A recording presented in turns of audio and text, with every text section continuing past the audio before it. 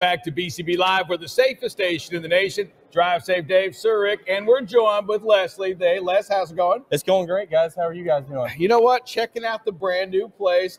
Pretty impressive, I'll tell you. Yeah, man, we're excited to be here. Uh, we've been moved in for a little over a month now, just getting getting all the kinks worked out trying to fill this thing up with uh, trucks. New trucks? You trying to line it up with new trucks? hey, you know, if uh, the fastest we can get them from the factory, we'll put them out front. You know, but uh, hey, supply chain's affecting everybody. I think we know. Isn't that crazy? And how's it? How are you doing out here? So this place has been open about a month, right?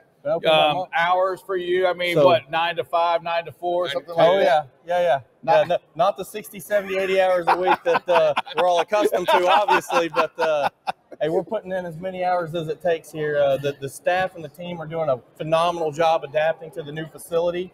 And, uh, you know, everybody's here ready to go to work. Hey, I'm curious. So, what does this place have different than, say, another uh, shop? And listen, you're going to make a lot of people mad, I'm sure, hey, right? So, brag okay. on your place right now. Hey, man, uh, we came in, decided, hey, we're, we're in Texas, it's hot. So, first thing out of the gate that almost nobody else does is we have a climate control shop. Mm. Hey, you guys know where we're set up at? Yeah, mm. Hey, uh, we, we were moving in in August, and the thermostats over here were about 107 degrees on the external temperature, and we were 83 degrees in here.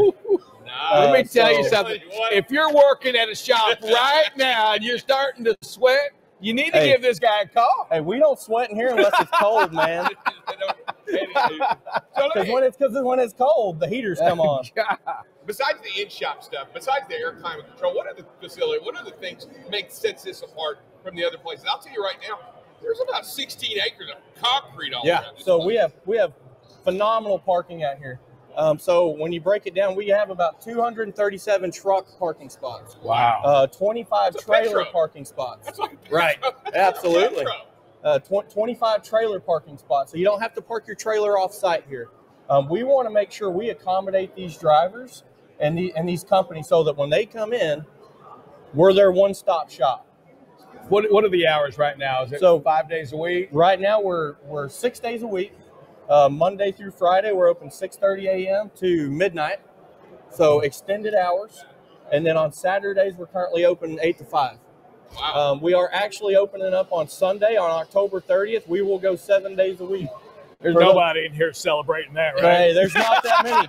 but uh, hey, our, our customers want it. Yeah. You know, that the truck stop running seven days a week, man. Yeah, so, so I am curious. So you bring up the customers. I mean, man, what a uh, what what a challenge supply chain's been. What a challenge it's been, you know, for the trucking companies that have went out and tried to purchase trucks trying to get trucks repaired Absolutely. on. Man, talk to us through some of the challenges that you've gone through, you know, not just here, but your other shop over the last 12 months. And do you see it get any better right now? So we've seen a lot of supply chain issues from from new truck inventory to used truck inventory, just and then parts and service. Um, it's a tough labor market. So mm. hiring has been a challenge, but hey, we're working through it. Hey, this beautiful new facility kind of helps you. us with some of that. For certain. Um, and then, hey, trucks coming in the shop. Companies who have trucks down in the shops across the nation are facing longer downtime issues because part component lead times. But we national are back order. National back orders are thing I've that's, that's the uh, nine million times. That's our, our most hated phrase to use because nobody wants to tell their no. customers no. Nobody wants to tell their customers, hey, we can't get it. But you know, we've done a good job of of pre-ordering, of trying to stay ahead of the curve, on parts inventory issues. So these trucks don't have to have as much downtime. Um, we've seen some things get better on the new truck side, on the factory side. Are they where we want them? Absolutely not. Uh, we're still under allocation. We're still working through those struggles. Um, but you know the allocation. Like you, you, talk about allocation. We talk about that all. It really is. It's hard to fathom. Absolutely. That we're still in, under allocation, right? It doesn't make sense. All the way into next Yes, but it is all the way until yeah. next year is what we're seeing on that side of it. Yet, Dave, I, so I was driving. I was talking to Steve. You know, I was coming across 30. Still, the car lots don't have anything either, oh, right? Absolutely. Yet on 30, there's a CarMax. Did you see the CarMax? Have you gone past that? It's no. just got like cars all over the place. I mean, like acres. I'm like, where did they get those? Yeah. They're the only ones that have them. But when it comes to the trucks, there's still empty lots uh, everywhere. everywhere. you look at. Everywhere. It's insane. Yeah, that's hey, we got tons of great customers coming in today. We appreciate you guys being here today, but I've had a ton of people walk in the door that, hey man, where's all the trucks? That's the first thing I said. Go to a dealership. and where are all the trucks? Hey, but when you buy trucks, you better not see any trucks out here if you're That- getting that's any, right. right? That's right. Customer calls say, I need a truck. I can't help you. You show up to a lot full. What's the, So- what's the number one question that a, that, a, that, a, that, a, that a customer has to you right now about trucks? Besides, can I have one? Besides, one, a a lot of it centers around why are we having this backlog issue? Why are we still under allocation? Mm. And it's, it's it's parts component lead times. It's it's roof caps. It's fiberglass. So it's not just It's- chips right no, now, it's right? not just chips Gotcha. right now. You know, it's there's a lot of different things. There's there's a big number of trucks sitting outside of our factories. You know, and it's not just the Kenworth model, right? There's Peterbilt's having this issue. Freightliner's also seeing this problem. They got tons of trucks sitting outside these factories that are built But, but not finished. but not finished. right, because they're missing And, something. and they're they're missing fairings. They're missing windows. They're missing windshields. You know, there's just there's things that going on that are slowing this down. But you know, we're we're all looking at this and hoping, hey, that this problem's kind of starting to self correct. People are starting to get the labor they need Yep. uh, in their workshops to manufacture these parts and to put more product out. And, and, and as you look forward and you talk to them, obviously you're on the phone with them all the time and you're, you're communicating with them, um, headquarters and factories, and you're, you're talking to them. When is a good time? I mean, we, we, we want the inside information, right? We want to know from the right from the horse's mouth. We can read it in the paper. We can. But when is it really? Do you think you start to see a turn for the better? Man, I wish I had that crystal ball. That's that we're in the we're in a very similar boat. As, That's, that's a as corporate answer. That is- Corporate said, hey, if Hey, you could Wish I had that crystal ball. but, uh, but you know, but we we do feel like things are going to turn in the first quarter, as we're really hoping to see some of that get over that hump, to see those slots open up on the factory lines, um, and and see One those. quarter away. He's one quarter away. Man, Did you hear that? I know, Hey, right? we're hoping we're hoping by the end of the first End of quarter the we first see- quarter. He we just see two quarters on. Hey, you know, maybe the third quarter. we'll uh, we'll keep this a moving target, guys. Hey, let's talk real quick about the drivers, okay? A driver, independent contractor, company Mhm. driver, they're going to come over here. They're going to put that truck in the shop. Hey, is there? Do you have a, a facility for them So- to sit at? You know, talk to you a little bit about that. So we keep uh, we want to have the best things for our drivers that come in. We want them to be comfortable uh, because it's this is the most uncomfortable place for a driver because Yes. they're not on the road And making they're money spending money. and they're spending money while they're here. Right. So we do. We the drivers have their own lounge. Awesome. Um, so we, we have a driver's lounge that's equipped with a washer and dryer, so they can do their laundry without having to go somewhere else to do it.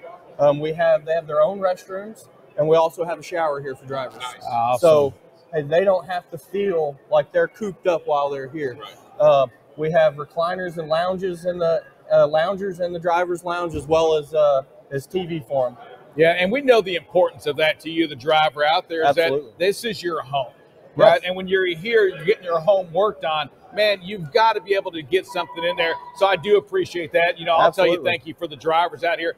Aside from that, you know, I'm just curious on this. I mean, what about that communication? You know, that's part of what we try to encourage as well as Absolutely. communication.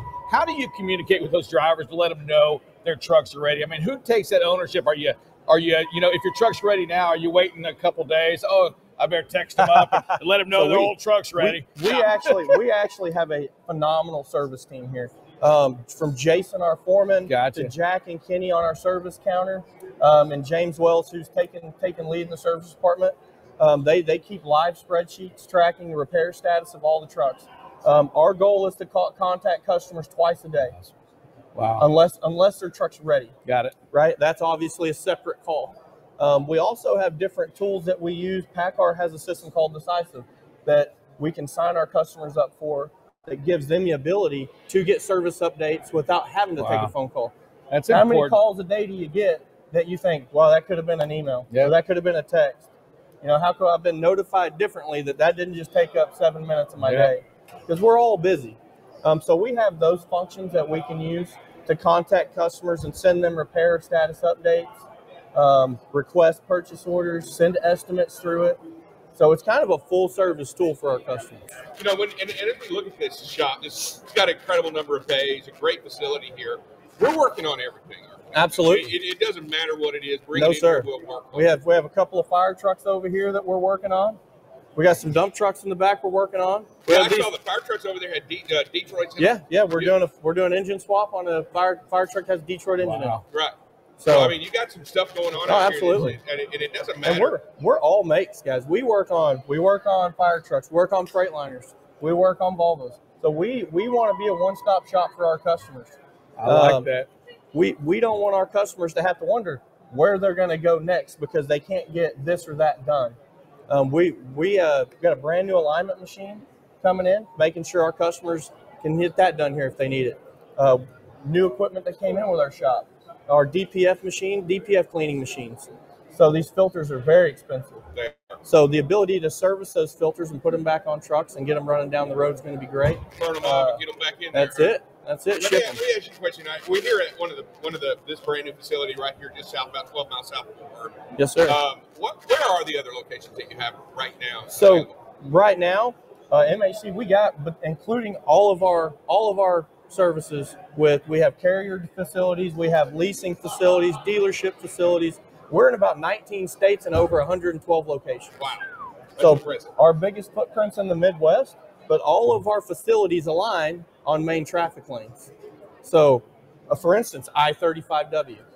And when you talk about this main traffic lane, this right here, not only i- if you can pull in here, you got service trucks you can shoot at. Absolutely. We got Wow. four. We got four mobile service trucks. We operate out of here. We hope to grow that by two or three next year. I mean, that's So a big deal. it's a That's big big deal. deal that you can rely on you. Hey, I can't get there. I can't Yeah. even start my truck. Can't even start it. I can't Right. even start. I need you to come out. I need you to make sure that you can help me out right now. Where can I do? And, and if they and if they're looking to get a hold of you guys, what's the best way? So the best way to get a hold of us is to call our main dealership line, 817-568-2000. Um, we also have other means of communication through our, we have a function called text to landline. So if you can't get through on the phone or you don't want to make that phone call, you can text the same number and communicate through us that way. Wow. So, well, a lot of our parts customers utilize that function because they don't want to have to call through and talk to somebody. Yeah, it's for sure. Hey, they send they send pictures and we communicate back the same way. So you just get the text message right back. So they send us a picture. I need this part. We can see the part. We can see what they're talking about. There's no guesswork. We can look up the part, text them back. Yes, sir. I have this part in stock. Here's your price. Like it. Would you like us to deliver it, or would you like us to put it in will call? I like it. I like it. I like it. Hey, look, we got about a minute I'll be right left. We got about a minute left here. Before we get out of here, I do believe this. I believe that that you talked about your service people here, right? That they're a direct reflection. I'm going to say of you. Talk to our listeners right now, the drivers right now. I mean, talk to them about that love, that appreciation, that sense of urgency that you have, and that you kind of spoke about Jason and your other team about well. Absolutely. Talk to them about that to assure them that you know what this is the place to go to if you need some work. Absolutely. Hey, this place, our facility, what I want is top notch customer service. We want our customers from the moment they walk into the door, from the moment they make that phone call, that they feel like that their needs are important. Mm. That's the focus. Mm. They are not taking a back seat to us or to anybody else. Our team here is focused on making sure that That's that awesome. you all are taken care of, that you have understanding of what we're willing to commit to, when we can get your truck in the shop, what parts we have on the shelf, or how fast we can get you that part to get your truck running. We want to make sure you understand that our customers are our priority. Love that, love that. Love. I feel like bringing my Ford in here right now, Drive Safe Dave, getting work done to it. They can do it all here, We'll do right? it all. we'll do it all.